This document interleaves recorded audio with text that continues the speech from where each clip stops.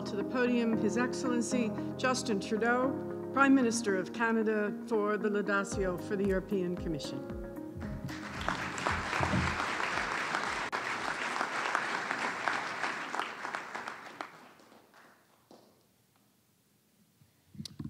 Bonjour, mes chers amis.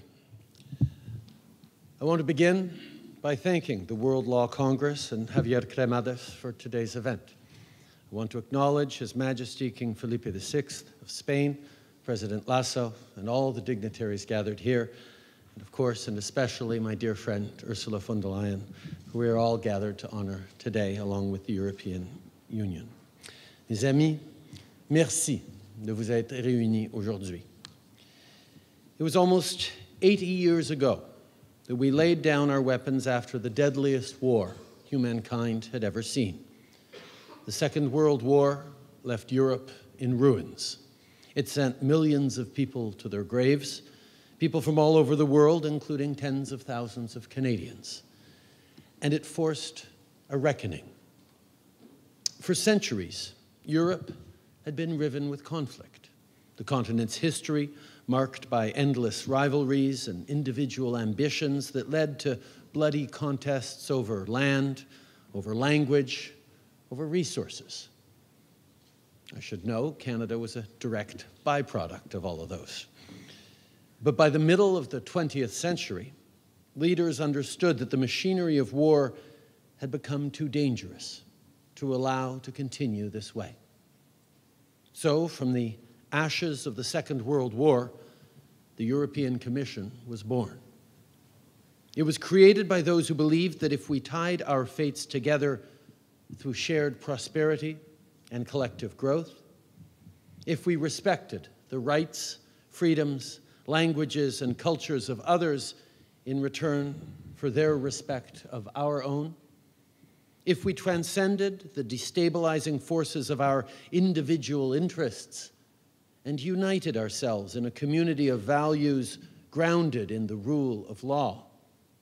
If we did that, we could overcome the brutal antagonism that had entrenched the continent for centuries and build a lasting peace. It was a triumph of imagination over history. La Commission européenne est devenue une institution clé qui joue un rôle central à l'échelle mondiale. Ensemble, les membres de la Commission européenne représentent la troisième économie mondiale et comptent un demi-milliard de personnes qui parlent plus de 24 langues, vivent dans 27 pays différents, pratiquent une myriade de religions et viennent de tous les coins du monde.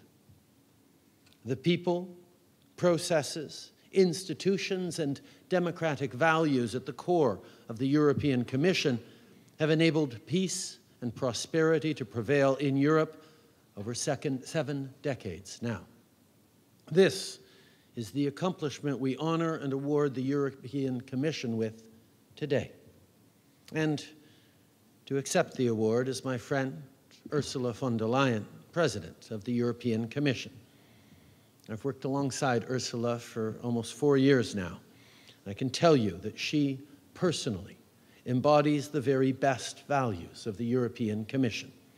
She is principled, she is compassionate, she is formidable, and she drives outcomes through respect and consensus. Canada, I suspect, was chosen today to speak to European success in part because, yes, our own history was shaped by the historical power struggles I mentioned earlier, but also because I think we too understand that in this day and age, differences and diversity can be made into a source of strength and resilience, not a source of weakness. President von der Leyen took her role at a time of uncertainty around the future of Europe. Brexit left many wondering if the Union would continue to hold strong. Euroscepticism was on the rise, and protectionism and authoritarianism were becoming more prevalent. Of course, this populism was not just European. Excessive nationalism was breaking through around the world, threatening the principles of collective prosperity.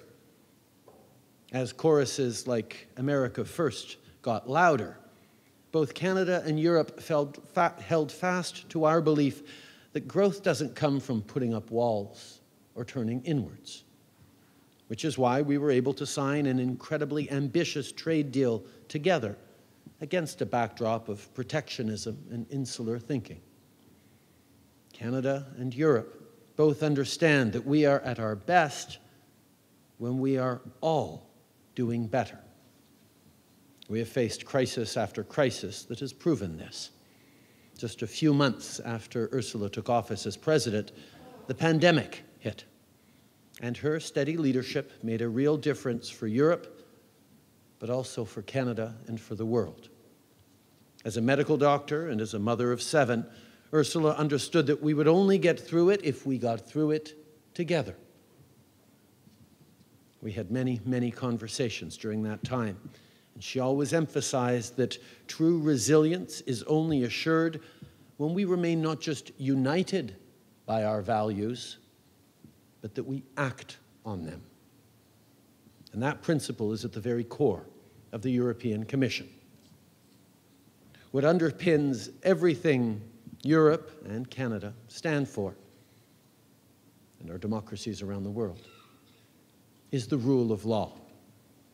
Ursula is called the rule of law, essential for the protection of the values on which our union is founded democracy, freedom, equality, and respect for human rights.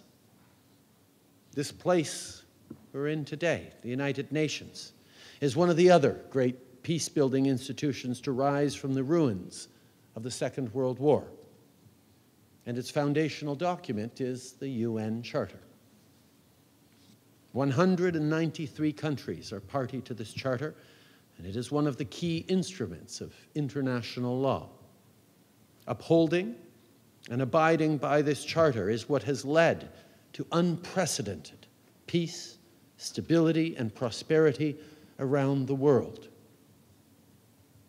which makes what Vladimir Putin is trying to do a problem for everyone, everywhere. L'évasion brutale et non provoquée de l'Ukraine par Poutine est une autre tentative d'imposer la loi du plus fort. Et s'il réussit, tout le monde va souffrir. C'est pourquoi le Canada, l'Union européenne et bon nombre de nos amis et alliés seront toujours là pour l'Ukraine. Canada has been an unequivocally strong supporter of Ukraine because we may live across the globe, but we must advocate for them at all multilateral tables where each of us have a voice, particularly with emerging economies. Ursula has been absolutely unwavering in her own advocacy for Ukraine and for the rule of law in a European context that is complex. In a time of energy crisis and inflation, it's all the more difficult to hold political consensus but Ursula has been an incredibly effective leader. She has galvanized European support militarily, financially, and politically for Ukraine's defense. And she has helped ensure that the democratic world remains steadfastly behind Ukraine and behind the principles for which it is fighting sovereignty, territorial integrity, the rule of law, and the right of peoples to choose their own future. She was one of the first foreign leaders to visit the country after the invasion began. She witnessed the atrocities in Bucha firsthand when there were still body bags in the streets. She understands the scale of the humanitarian crisis and demonstrated her compassion when, in those early weeks of the invasion, she brought the world together to provide refuge and support to the millions of people fleeing Putin's bombs. I was in Kyiv last month, where I addressed the Verkhovna Rada. I spoke of how Ukraine is the tip of the spear that is determining the future of the 21st century. Alors, en tant que nation souveraine et unie, on doit soutenir l'Ukraine dans son combat, quoi qu'il en coûte et aussi longtemps qu'il le faudra. We cannot let authoritarianism win. We must ensure that borders mean something, that might never becomes right, that the ambitions and desires of one entity or of one individual do not stamp out the rights of others. The German writer Thomas Mann described democracy as being built on respect for the infinite dignity of each individual. We cannot take democracy for granted. The European Commission has shown that when we overcome our differences, when we embrace them and forge consensus, that is the most powerful driver of solutions in the world. And this is important because the future holds other enormous challenges. Ce sont les principes et les valeurs que l'on célèbre aujourd'hui qui nous permettront de lutter contre les changements climatiques et de protéger les gens de leurs pires conséquences. Under President von der Leyen's leadership, Europe has laid a path to being net zero by 2050.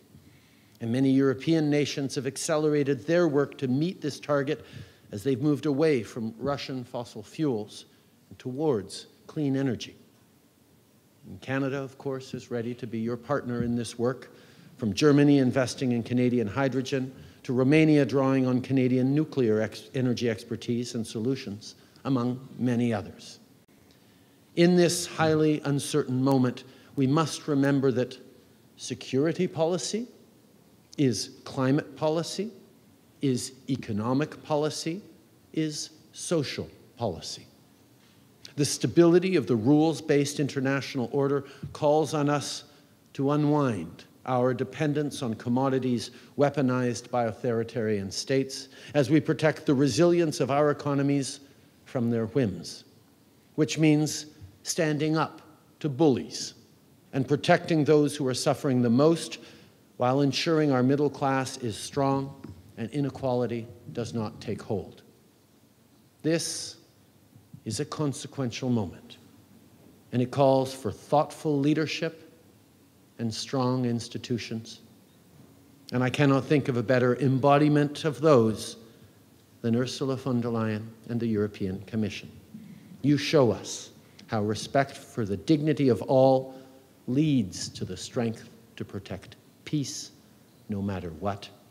And this is what we honor today.